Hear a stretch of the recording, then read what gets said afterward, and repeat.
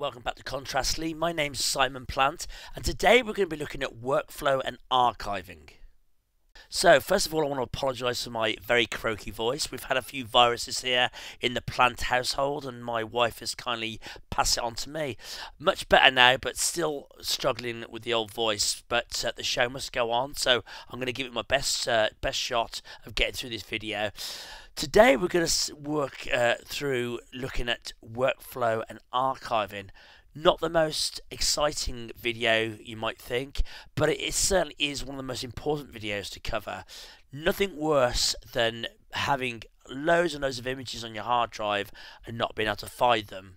Worse still is losing images. So today, I said we're going to look at the way I use a workflow to safeguard my images and also to be able to find them when needed. So as I said, this is just my workflow. There's lots and lots of different workflows that people use. I'm going to show you show you my workflow and why I use use it the way I do and why I think it's a good way of working. But you can adapt this any way you want. Uh, some of the things I'm going to show you in this video and possibly the next, you may think is a little bit over the top and a little bit crazy, and that might be the case. But it's the way I'm happy uh, about storing my images, and hopefully will stop me from losing anything. So, uh, not set in stone, it's open to interpretation, but it's the way uh, I'm going to show you that I do things. First thing I'm going to do is come out of a Lightroom and just start off very, very simple by simply how I would import my images into a folder structure. Now, a folder structure is literally that, just a folder. Here's a sample of one I've already had set up and inside it's got a load of other subfolders.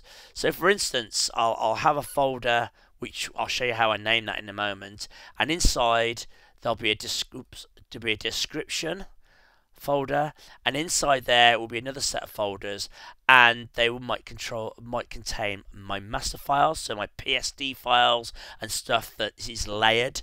Um, then with my finished pictures in another folder and more importantly a folder with all my camera raw files. So the very base level you could have three folders. I go a bit further. Sometimes I'll have movie folders then maybe web proofs that are sent to a client and then there may be some JPEGs I don't actually use all these anymore. Uh, this has evolved a little bit, and I'll show you the folders that I do use in a second. So the very basic level, you can set up a folder like that as a master folder and copy it, and every time you import your images, you've got that folder structure ready to go.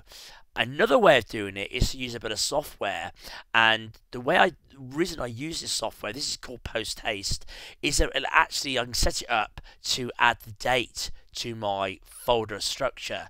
Um, and uh, the reason I do that is, and I'll show you in a second, is that it's, it's another way, without using Lightroom or any kind of cataloging software, it's a quick way of finding your images on a hard drive.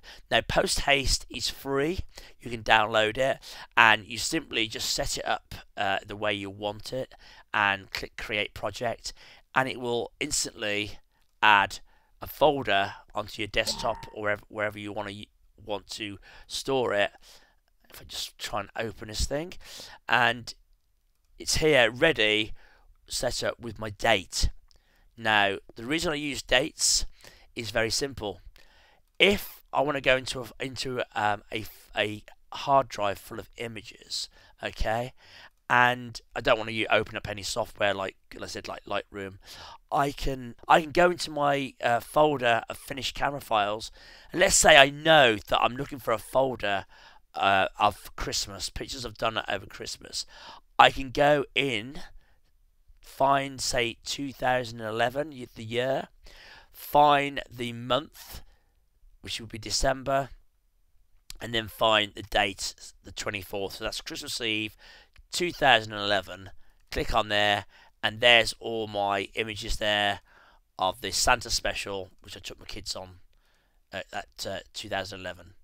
So that is a very quick way uh, of finding a folder. If you can remember the rough date and the rough year, you can quickly go through these and find the appropriate month, year, etc. without having to do anything else. So that's the first way of narrowing down your images that you're looking for if you can remember the year and the roughly the month.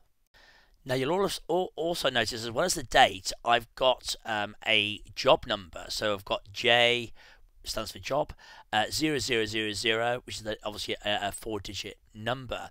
Um, so how I do this is, if it's personal work, I don't apply a job number. So for this this one, for instance, it's J0000 dash and then P E R S. I have a four uh, a four letter um, uh, um, description on the end. So this tells me that it's a personal work. Okay. If it's a job, then I have a job number, which obviously is in sequence, uh, followed by another abbreviation for the client. So this, so uh, this one here is YCST. That is a client that I work for called the Yeovil Town Community Sports Trust, which is like a charity, football charity. Um, I've also got um, this one here, MKYD, um, which stands for the Monk's Yard, which is another client that I do a bit of work for. So all these um, mean something to me, and another way, quick way of me finding uh, images. So if I know that I've done some work for the Monk's Yard, I know I'm looking for that last uh, those last four letters MKYD. Another quick way of finding stuff, okay, um, and followed also by job number. And you can also put these into a separate database like an Excel spreadsheet with a description uh, if you find that that's helpful. So that's again another way of quickly finding the images you look for. So, if you did nothing else apart from what I've just showed you, you'd already be in a better position for finding images on your hard drive. Because if you're shooting a lot, you can quickly build up a huge amount of, of images, and if you're not naming them or um, in or put them into proper folders like this, it's just going to make life a lot more difficult. And there's nothing worse than su suddenly realizing this six months, 12 months, two years down the line and having to go through the whole lot again. I've been there and I've done it. So it's good to get this sort of thing in place as soon as possible. Um, going down a little bit further, drilling down a bit further, if I open uh, the one of these folders and click on it, you'll see uh, we've got a little description there, the first folder, of what the images contain. And then underneath that, obviously, we've got my folder structure. Um, if we go open up the camera raw folder, or any of these folders, um, that naming, uh, the way of naming the, those folders uh, uh, rings through again. So each image now has the date again, the job number, the client, but then added on the end of that is another four digit number followed by the file type. So this is .dng. Um, if I go into, uh, I don't know if there's any in here or not, then yeah, you've got the same again, but it's .jpeg. Okay, so that carries on again. So I know from looking at any, individual file where that uh, where that image comes from. So again, the date, job number, the abbreviation for the client, but then followed by the four digit file number followed by the file type, which in this case is a DNG. So hopefully that makes sense. Again, it's just helping keep images in the right folders, and if they get fragmented or maybe this gets moved out of a folder for any reason um, and stored somewhere else, I can quickly find where that image belongs by the date and the job number and the client number. So before we finish up, I just want to show you um, a drive full of images that I've worked on that I've kind of finished with. Uh, so these are stored on an external hard drive and we'll go into more of the kind of the archiving and safeguarding of the images perhaps in the next video. Um, so this is a folder again. I, I, know it's a personal work because of my uh, file naming. Um, I've opened it up and then I've got a description folder. Uh, and this one says this one says Costa del Sol, Spain family holiday. So I know it's a family holiday in Spain. And again, inside there are a load of subfolders. Here's my camera raw folders. Again, same naming convention, so I can I can track it track it back to that job folder, and followed by uh, the uh, file number of the file. So 001, 002, 003, etc., etc., etc., etc. for as many images that I've shot on that job. Okay?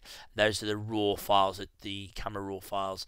If I go back uh, uh, back away I can um, I can then go in say to my uh, masters folder here and here it changes slightly. The images that I'm working on which is the layer file sometimes I will leave if it's just one image I'm working on at that folder I'll sometimes leave it again with the job number and the uh, the file number 282 and .psd I know that's a layered file sometimes I'll work on multiple different versions so sometimes I will break them down and I'll actually give them a description name. So that one's called Master Contentment, which is the, the name um, that I gave to the image.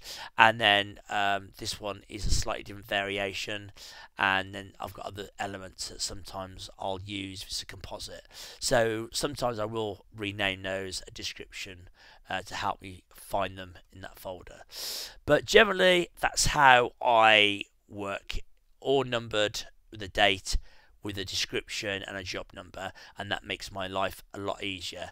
In the next video we're going to look at how we might use uh, something like Lightroom and how we ingest the images into Lightroom how I keyword them so that I can find them easier within a database. And uh, then eventually we'll then look at how to then archive those onto various different media including hard drives um, the and the cloud as well, which is something fairly new to me in the last 12 18 months I've started to use. So I hope this video has given you a bit of food for thought. As I said, you don't have to copy the way I work, but um, hopefully it'll give you a few ideas of how you can adapt it to your own needs. And uh, as I said, in the next video we'll continue with the uh, with the uh, workflow and uh, the archiving and how to safeguard your images. So thanks for watching and I hope to catch you again soon.